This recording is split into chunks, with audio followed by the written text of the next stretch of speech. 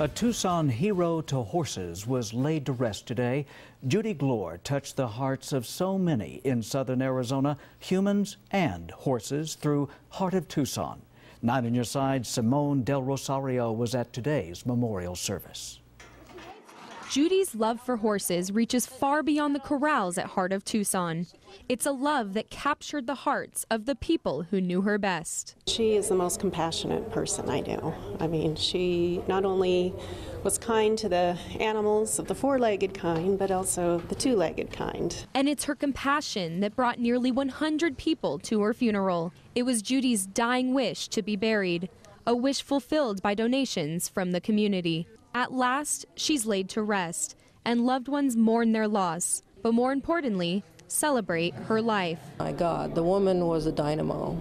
She still is a dynamo. She still inspires people, even after her passing, to keep going, to keep rescuing those that don't have a voice or that are in need. It's a cause that her family plans to keep going. As someone special the other day said, We need to keep the heart beating. Keeping Heart of Tucson alive. Even through her own battle with lung cancer, Judy told Nine on Your Side last fall that the animals are what matter most. I would rather ask for the animals to make sure that the animals are taken care of and this dream is kept alive because that's made my life worth everything. A life that will live on through a dream that won't die. Simone Del Rosario, KGUN 9 on your side. Judy's legacy, Heart of Tucson, will continue. Her family and the volunteers plan to keep rescuing horses. If you'd like to donate, you can do so by visiting their website, heartoftucson.org.